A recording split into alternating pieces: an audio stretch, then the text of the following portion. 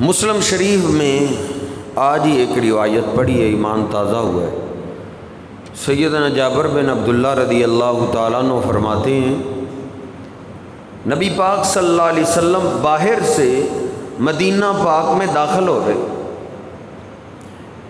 Medina के करीब ही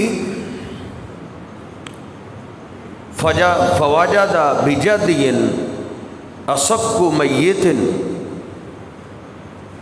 आपने एक बकरी का बच्चा देखा जिसके छोटे छोटे कान मैं और आप देहाती लोग हैं, हम जानते हैं कि बकरों की कई नस्लें हैं, कई बड़े कानों वाले होते हैं, कई बिल्कुल छोटे छोटे कानों वाले होते हैं और उनका कद भी सारी ज़िंदगी छोटा ही रहता है। फरमाते हैं, वो छोटे छोटे कानों वाला बकरी का बच्चा था। असब हुआ मैतिन और था भी मुर्दार, मरा हुआ था। नबी सलाम फतना वाला हुआ, आप उसके पास चले गए।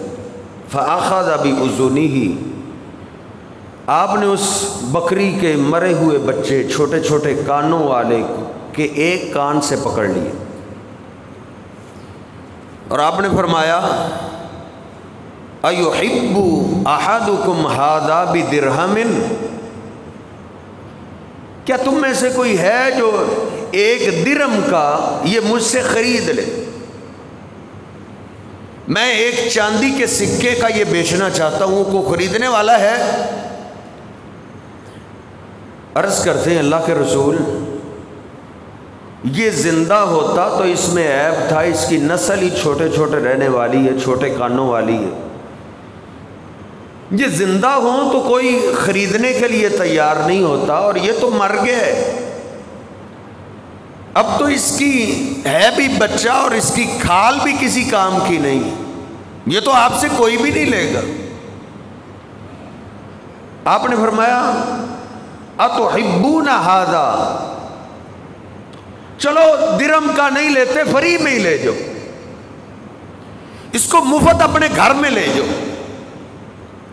साहबा अर्ज़ करते, अल्लाह के रसूल, ये अगर इतने काम की चीज़ होती तो इसके मालिक इसको फेंकते ही क्यों? अब ये किसी काम का नहीं। अब ये कुत्तों के काम आएगा। अब ये दरिंदों के काम आएगा। इंसानों के काम का नहीं रहा। मुस्लिम शरीफ में हदीस पाक है साहबा कहते हैं, नबी पाक सल्लल्लाहु अलैहि वसल्लम ने फिर कसम उठाई। और ये हमारे लिए बड़ी तकलीफ़ दे बात है कि नबी पाक सल्लल्लाहु अलैहि वसल्लम हमारे लिए किसी बात पे कसम उठाएँ। क्योंकि कसम तो उठाई जाती है बात को पक्का करने के लिए। नबी पाक सल्लल्लाहु अलैहि वसल्लम की हर बात ही बगैर कसम के पक्की फिर आप कसम उठा रहे आप फरमाते हैं, वल्लाही लुनिया आहबान की मिन हादेगी